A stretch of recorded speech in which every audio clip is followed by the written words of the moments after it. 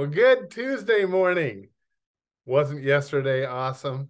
You were just beginning to get to know Bridgette Cameron Ridenour. Bridgette is wonderful. She spoke at our women's luncheon in uh, May. And today's, she talks about an absolute miracle that happened to her. That she, it's, it's amazing that she is still alive. So that's going to be part of it. And also, kind of her story again of what it's like to be the sister of people who became stars in Hollywood and yet have stayed strong in their faith. Well, this one is an amazing story. I know that it's going to bless your heart as it does mine, and I so respect them for standing up for their faith. And that's a challenge for us to do the same. So God bless. Enjoy today's message, and I'll see you back here tomorrow. I did actually get to start auditioning, and I did a few things, but one of my most favorite auditions was I got to audition for the Los Angeles traveling musical of The Wizard of Oz. And guess what? they were looking for munchkins. And I thought, I've got this!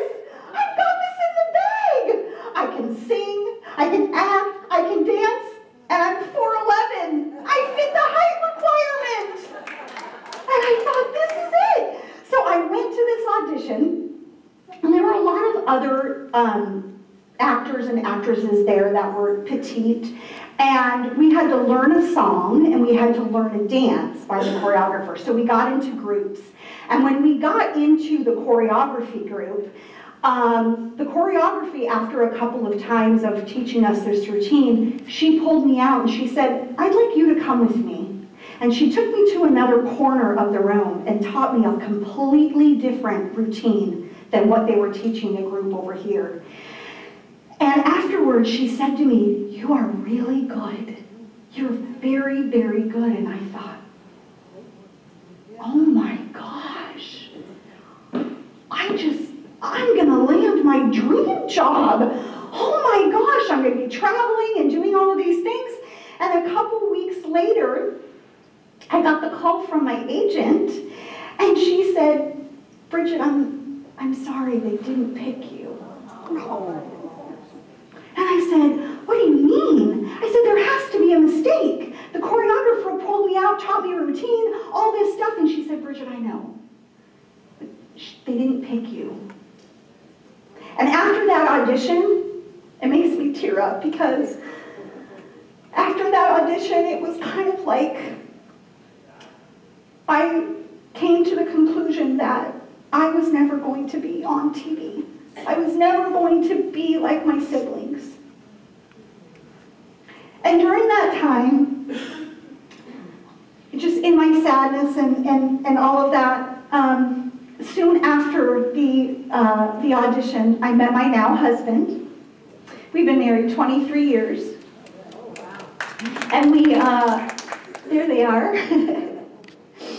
and during that time, being married and, and having kids and having, you know, my, my corporate job and all of that, watching my brother and sister's careers, I'll be honest, there was some jealousy. There was some hurt.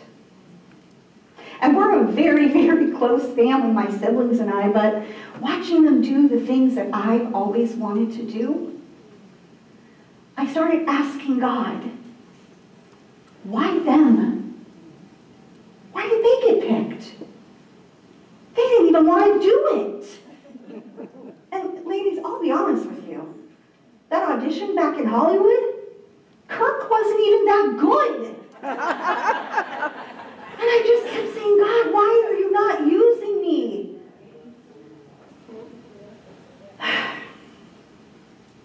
In 2015, my husband and our three kids um, went on a road trip.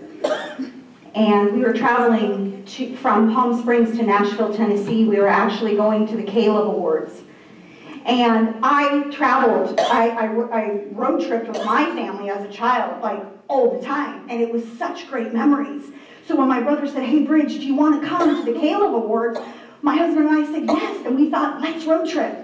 It's going to be so much fun. So we were uh, traveling and we were actually in Texas at the time.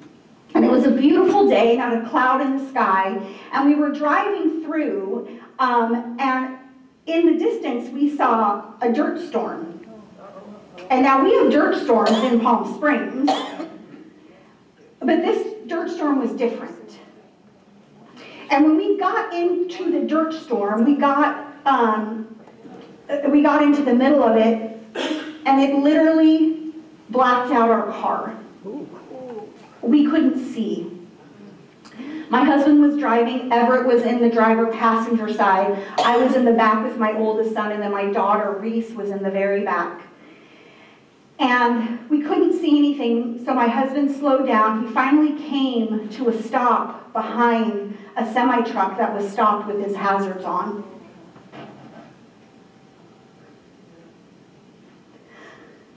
And not more than seconds, my husband looked at me and he said, Bridgette, I need to move the car. I'm not feeling comfortable behind this truck. I said, okay. So my husband moved our SUV to the side. Now, this, this highway was two lanes going like this. He moved the car next to the semi truck. No more than seconds after we moved, a semi truck going 75 miles an hour came from behind us, smashed into the truck that we were just behind. The, the cab exploded, and the gentleman inside that cab passed away.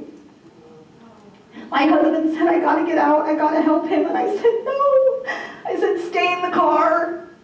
And at that moment, God said, Get Reese, get Reese. And I grabbed my daughter and I pulled her into the seat next to me and I buckled her seatbelt in. And no more than seconds after that, another semi truck going full speed came, did not stop, hit our car, pushed us down into the ravine, and became embedded between the truck that was on fire and our car. And he jumped out of his cab and he jumped onto the hood of our car and we're pounding on the hood. And he said, Get out, get out, the cars are on fire. And I got everybody out of the car from the passenger side. And I could hear these voices in the distance saying, Come over here, over here. And I told the kids to run to the voices. And we got into this car and they, they took us a, a little ways down the road. But during all of this, there was so much commotion, so many police officers. I was on the phone with 911. There was so much going on. But during all of that, God kept putting in my visual Jeremiah 29 11, Jeremiah 29 11, over and over and over. And I'll tell you, I was starting to get really annoyed. I was like, God, there's so much going on right now, and you're putting this verse in my head, and I can't even tell you what that verse was. So we got taken to a motel for the night, but I knew there was a Bible in the nightstand of that motel. And I burst open the doors, went over to the nightstand, pulled out the Bible, and I opened up the Bible, and that's when God gave me my life verse. Jeremiah 29 11.